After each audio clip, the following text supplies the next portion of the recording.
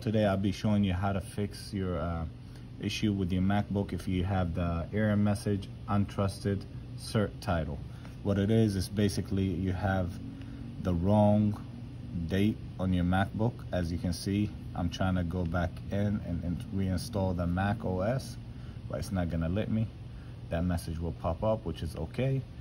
What you do is go back over here, go to utilities, open terminal. What it is, we're gonna fix the date and time on the MacBook. So press date, press enter. As you can see, it's giving me the wrong date. It says 2017, but it's not correct. Usually it gives you like in the beginning of the year or the end of the year, which is incorrect. So what we need to do is to correct the date and time. So today is December 12, and make sure you put it into two digits.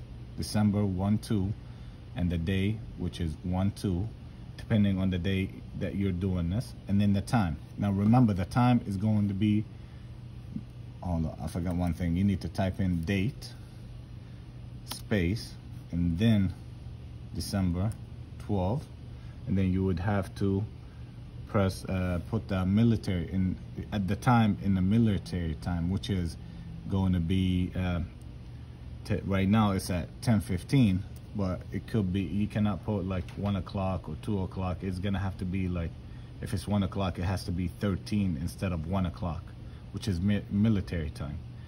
And then you put 10:15 which is the time right now.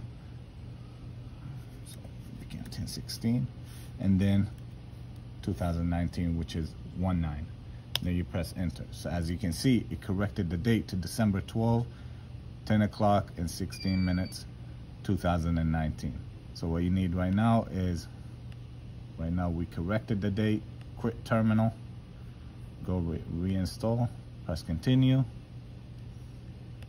continue, continue. And as you can see, it went through. Thank you for watching. Please like and subscribe and have a wonderful day.